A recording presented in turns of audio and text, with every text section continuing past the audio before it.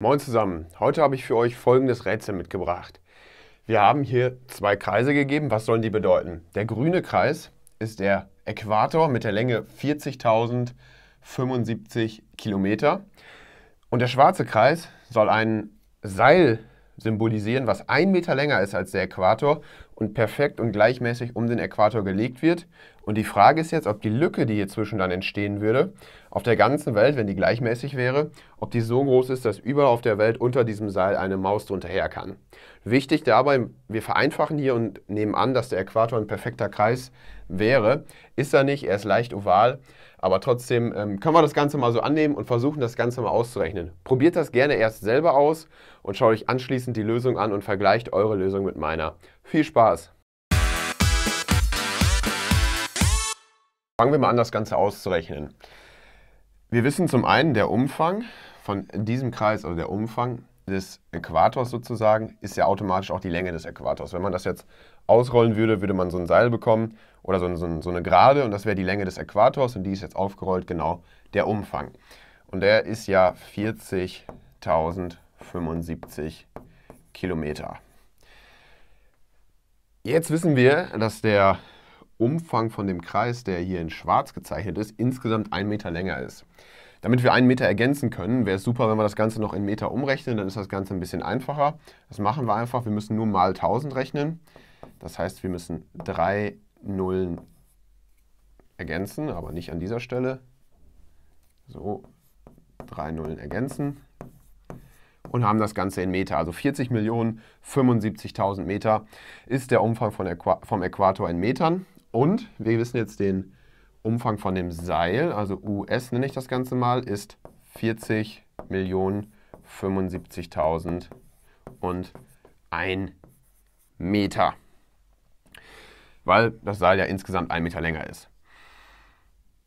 Jetzt wissen wir über den Umfang noch was weiteres, was zusätzliches, und zwar die Formel des Umfangs. Ähm, die habt ihr vielleicht in der Schule gelernt oder habt ihr so im Alltag schon mal gebraucht oder gehört. Der Umfang von einem Kreis errechnet sich aus 2 mal Pi mal r. Und das Schöne ist, dass wir 2 und Pi kennen, wir wissen den Umfang. Das Einzige, was wir nicht wissen, ist r. Und r ist in unserem Fall ganz wichtig, r ist nämlich der Radius. Der Radius gibt immer den Punkt von der Mitte eines Kreises an zum Rand, wie lang diese Strecke ist. Und die ist tatsächlich bei einem perfekten Kreis überall an jeder Stelle gleich lang. Beim Äquator sehen wir an dieser grünen Linie, dass der, Umf äh, dass der Radius bis hier geht. Bei dem schwarzen Kreis mit diesem 1 Meter längeren Seil ist der Radius ein Stück länger. Und die Differenz dieser beiden Radien, das heißt, wenn man vom schwarzen den grünen abzieht, ist dieser blaue Punkt, den ich da eingezeichnet habe. Und das ist ja genau die Lücke, durch die die Maus später hindurchschlüpfen muss. Deshalb ist es wichtig, dass wir beide Radien wissen. Und wenn wir dann den schwarzen, vom schwarzen Radius den grünen Radius abziehen, kriegen wir genau die Lücke und wissen dann, wie groß ist denn diese Lücke, durch die die Maus schlüpfen kann. Deshalb ähm, rechnen wir den Radius jetzt aus. Zuerst beim Äquator. Wir können auch statt U Äquator schreiben die Formel hier oben. Also 2 mal Pi mal R und ich mache ein kleines a noch hin, damit wir wissen, Radius Äquator ist gleich 40 Millionen 75.000 Meter. Und jetzt wollen wir nur den Radius wissen und nicht 2 mal Pi mal den Radius. Das heißt, wir teilen dividiert durch 2 mal Pi und haben dann da stehen, Radius Äquator ist gleich 40 Millionen 75.000 Meter dividiert durch, als Bruch jetzt einfach 2pi. Man könnte das jetzt theoretisch schon in den Taschenrechner eintippen, machen wir aber nicht, damit wir nachher das Ganze möglichst genau haben, äh, nutzen wir das erstmal noch so als Bruch. Und als zweites haben wir für den Radius von dem Seil, haben wir stehen 2 mal Pi mal Radius Seil ist gleich 40 Millionen 75.000 und 1 Meter und wir teilen wieder, dividiert durch 2pi und kommen dann darauf, dass der Radius vom Seil gleich diese 40 Millionen 75.000 und 1 Meter dividiert durch 2pi sind.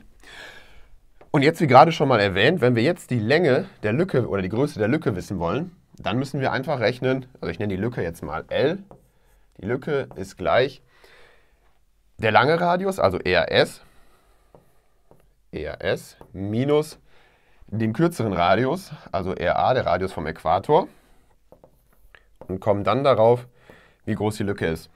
Und das Schöne ist jetzt, weil wir das hier als Bruch haben, können wir einfach den ersten Bruch hier für RS einsetzen, minus dem zweiten Bruch hier oben und das Ganze in den Taschenrechner eintippen und kommen dann eine, bekommen dann eine relativ genaue Lösung. Diese relativ genaue Lösung runden wir jetzt nochmal, weil wir sonst zu viele Nachkommastellen haben und kommen dann auf 0,16 Meter. 0,16 Meter ist wieder nicht so diese optimale Einheit, mit der wir rechnen können. Deswegen rechnen wir das noch in Zentimeter um. Dazu das Komma um zwei Stellen verschieben und landen dann bei 16 Zentimeter.